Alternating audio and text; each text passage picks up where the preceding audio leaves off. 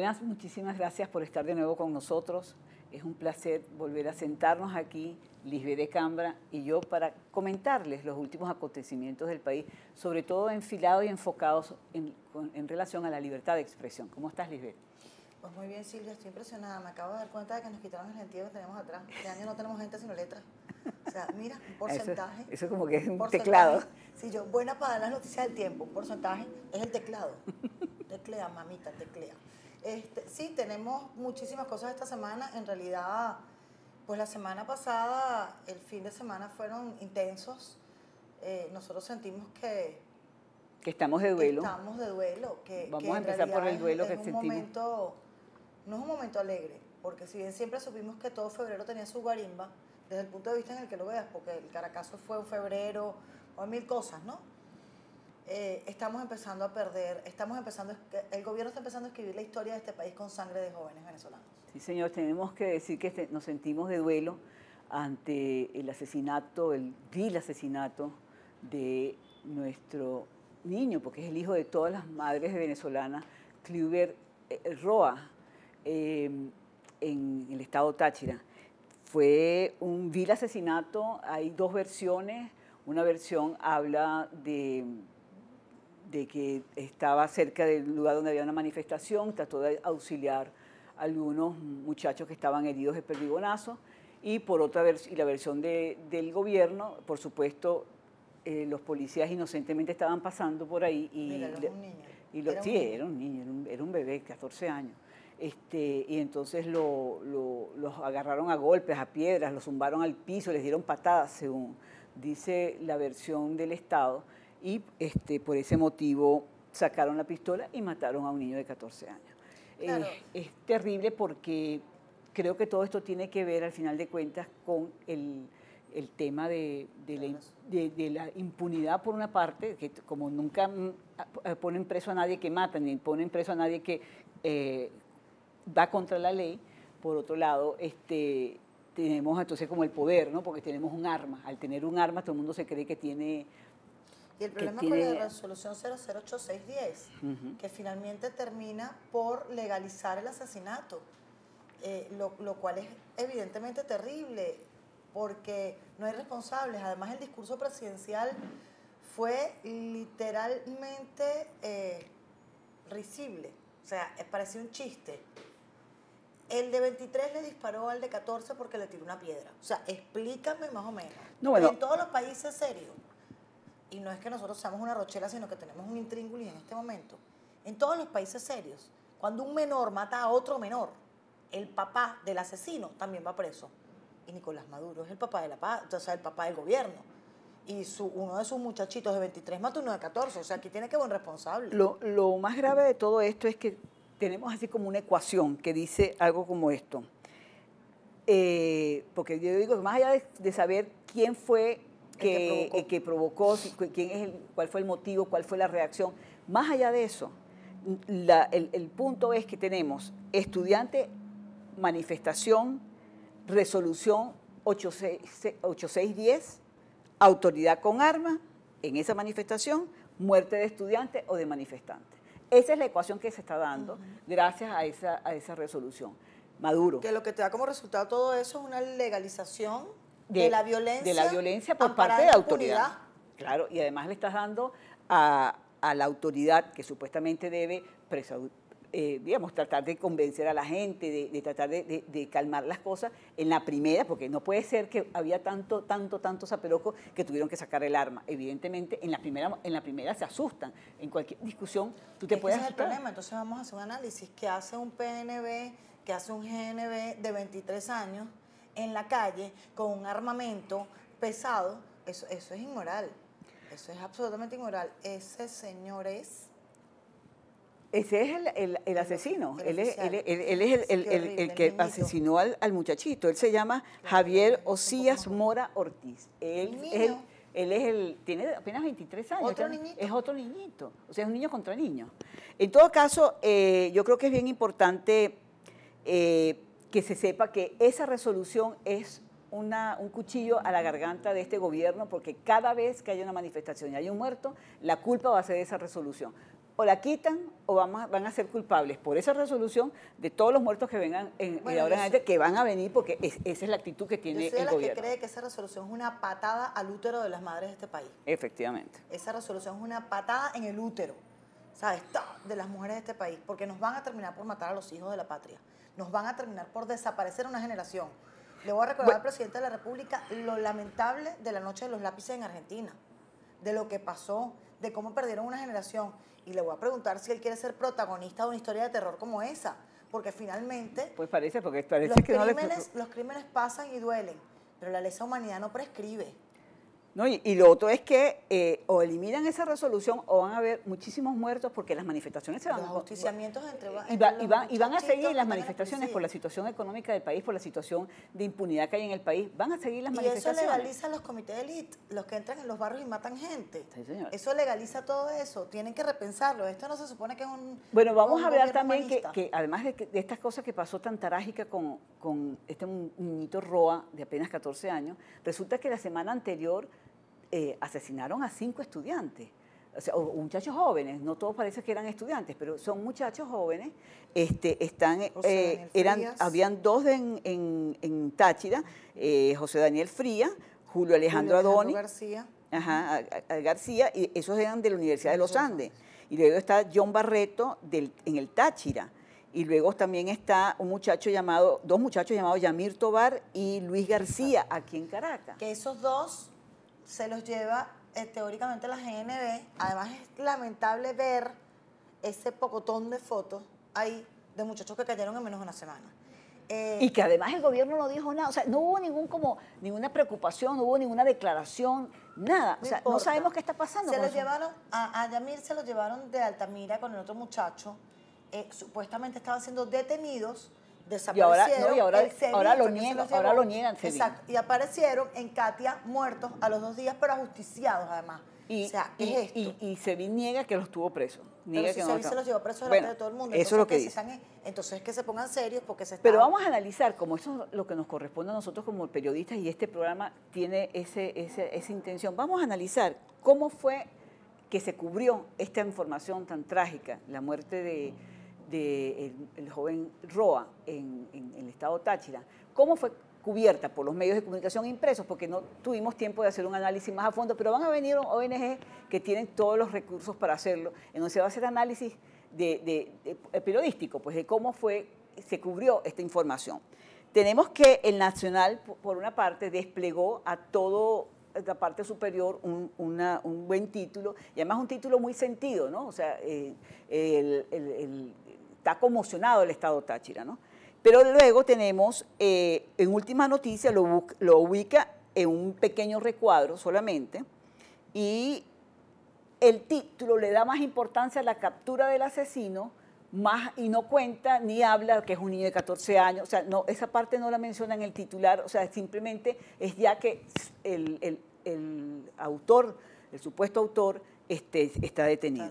Y luego eh, por ejemplo, en el caso de tal cual, tal cual, por, por, eh, perdón, el Universal, tenemos el Universal que no conseguí, la, no me salió la, portada del tal cual, pero el Universal, como ven, apenas abajo, abajo, abajo, abajo, muy escondido, está como portada, eh, que, que a final de cuentas es la información más importante y más destacada del periódico, va en la portada, apenas lo pone abajo muy, muy, muy, muy escondido. Pero el día de hoy jerarquizan con la noticia de todas las protestas nacionales y sale la foto en primera plana en el Universal de bando a bando porque, de todas las protestas que se hicieron. Bien bueno, porque, ah, porque así es que así debe ser. O sea, la noticia que pegó ese día. Pero es que la línea editorial no Pero no, no, perdóname, esa no es la excusa. De eh, no, Lisbeth, discúlpame. La, la discusión tiene que ser que un periódico que tiene una noticia tan candente como es esa, que no solamente es importante para Venezuela, sino que rebotó a nivel internacional. Toda Latinoamérica está destacando esa información.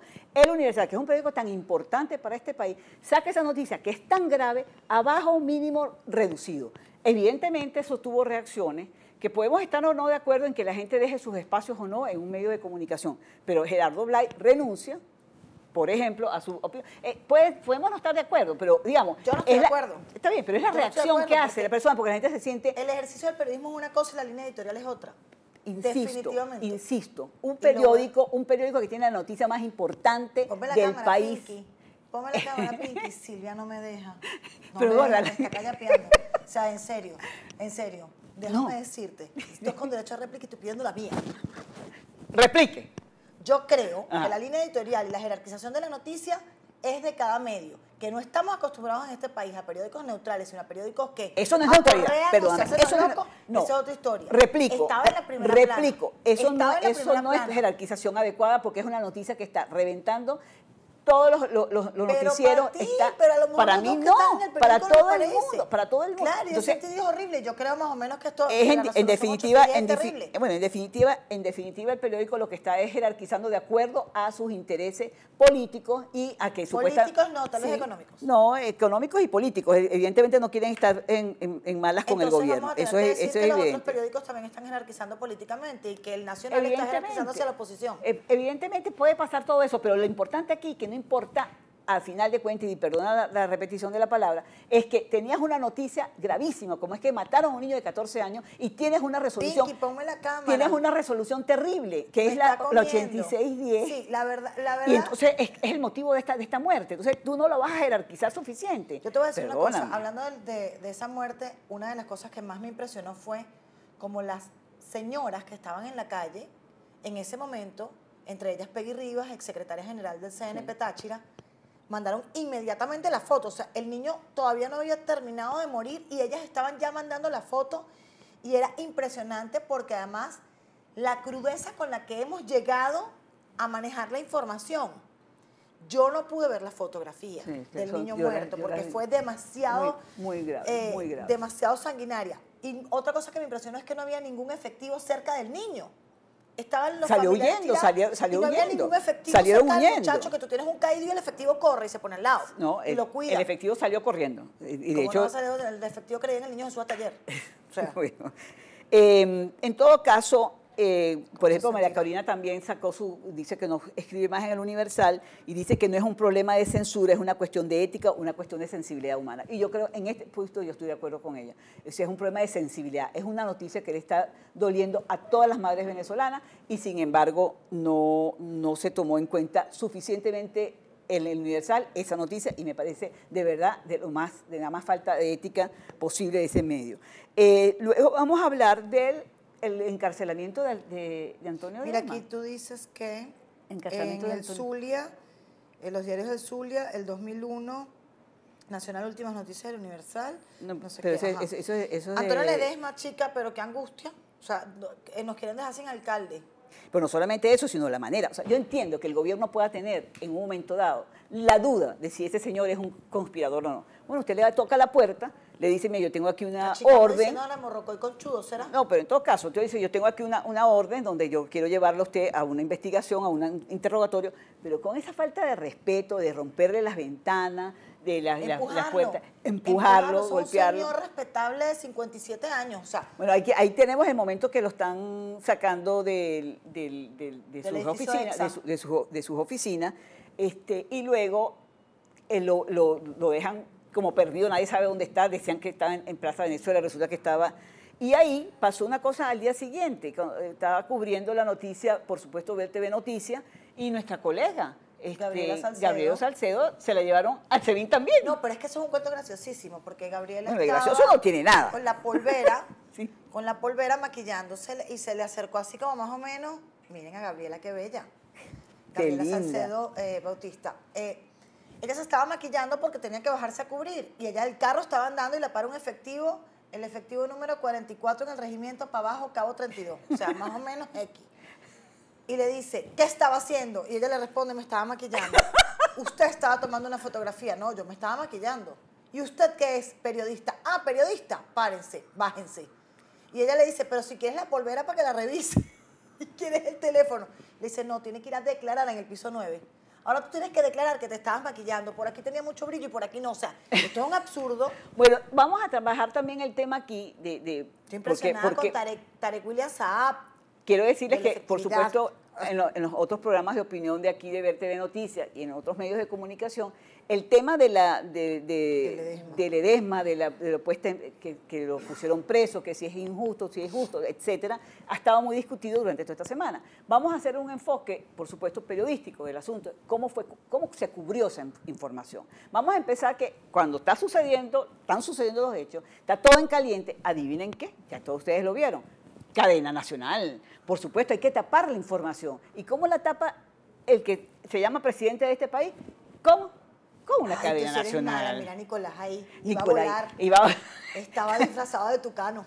Mira, a volar. Sí, porque está, está, está bueno, este señor empieza a hablar y después de media hora hablar las acostumbradas informaciones que da sobre, sobre el, el imperialismo.